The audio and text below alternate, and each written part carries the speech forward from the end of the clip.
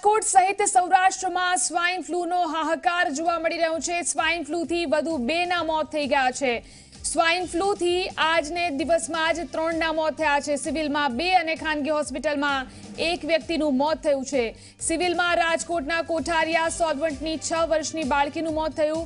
અમરેલીના પંચાવન વર્ષીય મહિલાનું મોત થયું.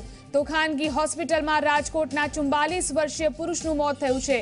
અત્યાર સુધીમાં સ્વાઇન ફ્લૂથી પંચોતેર લોકોના મોત થઈ ચૂક્યા છે.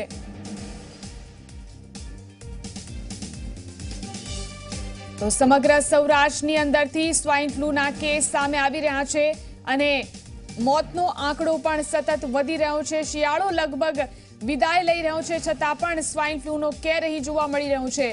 રાજકોટની અંદર સ્વાઇન ફ્લૂનો કેર યથાવત છે. અત્યાર સુધીમાં સ્વાઇન ફ્લૂના કારણે પંચોતેર લોકોના મોત થઈ ચૂક્યા છે અને હજુ પણ બીજા ત્રણ વ્યક્તિના મોતના સમાચાર સામે આવ્યા છે.